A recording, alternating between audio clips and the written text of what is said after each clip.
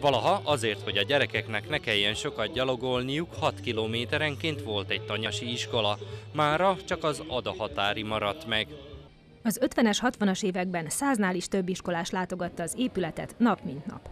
Ma egy civil szervezet küzd azért, hogy megmaradjon az egykori iskola épülete, és bemutassák a tanyavilágot. Fegyelem meg rend az volt, egy tanítónéni négy osztályt vezetett egy maga, és persze a gyerekeket mindnyáján, 30-40 gyerek volt akkor, körülbelül a négy osztályba.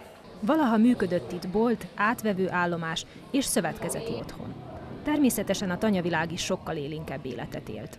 Az idősebbek szívesen emlékeztek vissza az akkori időkre, és meséltek unokáiknak fiatalságukról. Itt ezt a tanyavilágot nem értéköli senki. A fiatalság itt is eltávolodik, mert úgy vannak vele, hogy nincs értelme. Ma már fiatalok küzdenek azért, hogy megmaradjon az egykori tanyavilág emléke.